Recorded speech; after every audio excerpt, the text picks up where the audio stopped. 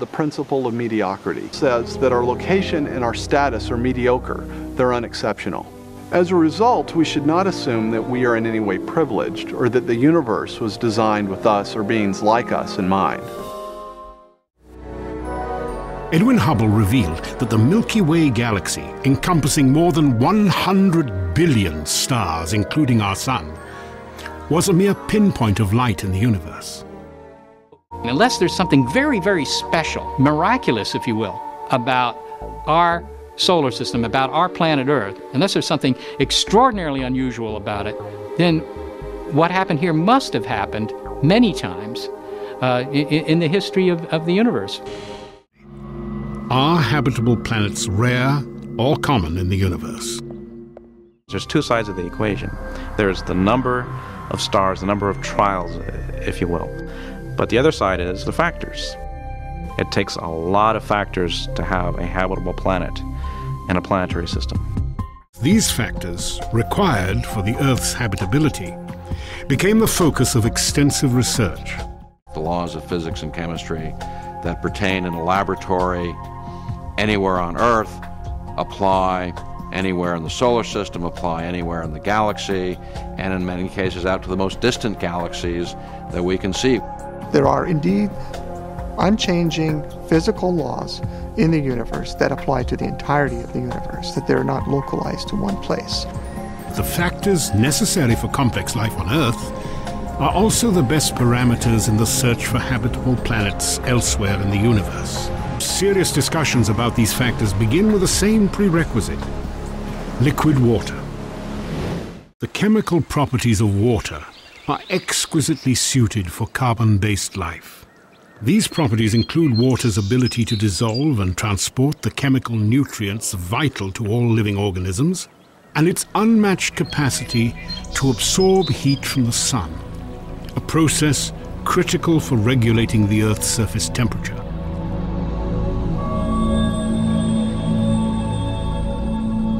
In liquid form, water is an extraordinary substance and its existence hinges upon another factor essential to complex life a planet's distance from its home star. It's like what they say in real estate location, location, location. A habitable planet lives in what we call the Goldilocks zone. It's not too hot, it's not too cold, it's just right. And when I say just right, I mean just right for water. Liquid water really helps define the habitable zone. If it's too hot, again, the water just boils away. You just can't get condensed water. It's too cold, as in Mars today, it freezes out. Within our solar system, the habitable zone is relatively narrow, beginning well outside the orbit of Venus and ending short of the orbit of Mars.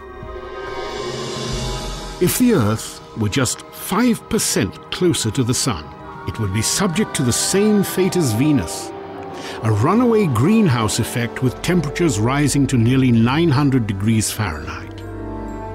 Conversely, if the Earth were 20% farther from its home star, carbon dioxide clouds would form in its upper atmosphere, initiating the cycle of ice and cold that has sterilized Mars.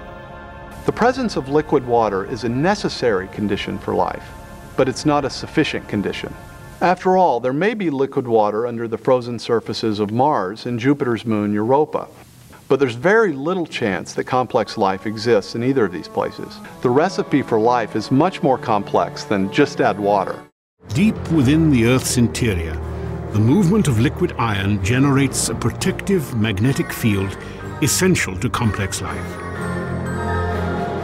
If our planet was smaller, its magnetic field would be weaker allowing the solar wind to strip away our atmosphere, slowly transforming the Earth into a dead, barren world much like Mars. As seen from space, the Earth's atmosphere glows as a thin blue ribbon of light. Measuring less than 1% of the planet's diameter, it is composed of a mixture of nitrogen, oxygen, and carbon dioxide.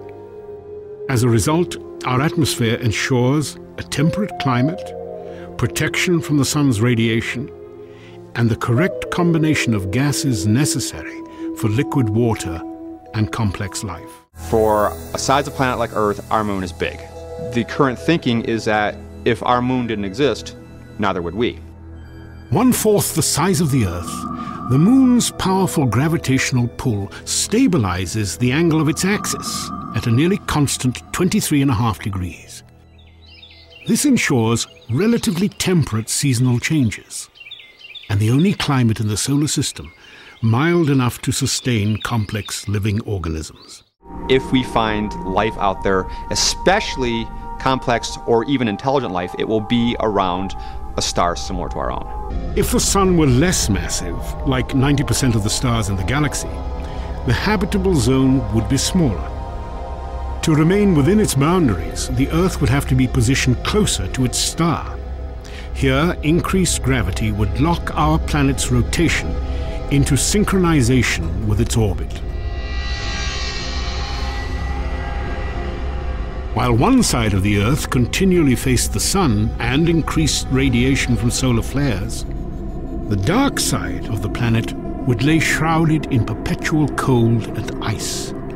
It is unlikely complex life could tolerate these drastic extremes in temperature.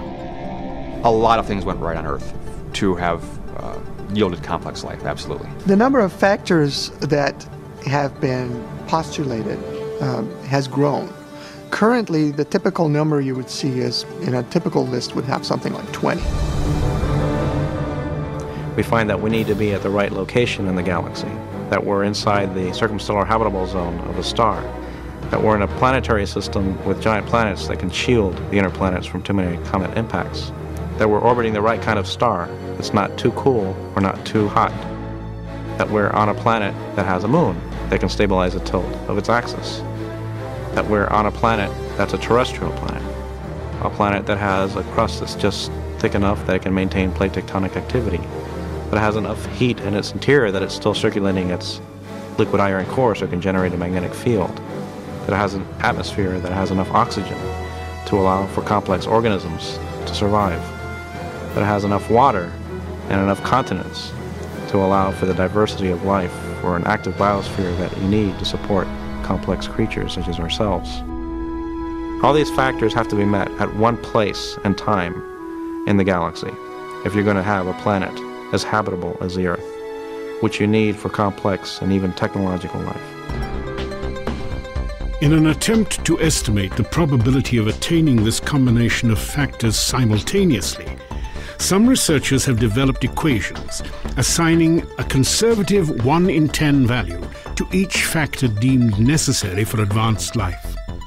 If every element has to be there at the same time, you have to multiply the probabilities. And that's what makes the probability at the end so small. You've got 10% of this and 10% of that, and these things rapidly multiply to exceedingly small numbers. The numbers on the order of 10 to minus 15, which is 1 one thousandth of 1 one trillion. And it's a number like that that you have to compare to the 100 billion stars that are in the galaxy. 100 billion is a very large number, but a thousandth of a trillionth is much, much smaller. On their face value, these probabilities are speaking. What they're telling us is this can't happen, or this is very unlikely to happen in the galaxy. And that's where the evidence is pushing us. There are many probabilistic resources in the galaxy, but on the other side of the coin are all these factors that you need. You have to get just right in order to have just one habitable planet like the Earth. And that leads me to conclude that yes, we're rare in the galaxy. The environmental conditions on the planet that would allow more complex creatures, similar to people or plants and animals, is very rare. The Earth is actually a rather special place.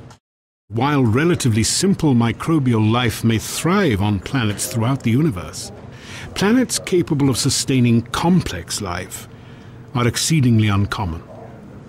Well, the entire universe is highly hostile to life. If you compare all the known places in, in the universe, none of them compare to Earth. We live in a very special environment that provides what we need, provides air, provides food, stable conditions, so that the Earth is almost like a giant organism where its systems are interacting in a way that allows animals to survive. We did win the, the cosmic lottery, so we're a lucky planet. We're just in a very fortunate place. If the Earth does exist for a purpose, is there any way that we could tell? The sun is 400 times bigger than the moon, but it's 400 times further away. So there's this coincidence people have noted for centuries, but they just say, oh, well, it's a coincidence and shrug their shoulders. Perfect solar eclipses were sort of the tip of the iceberg, the first instance of an entire class of evidence that provides a way uh, for judging if the universe is the result of a fluke or some impersonal process or the result of purpose or design.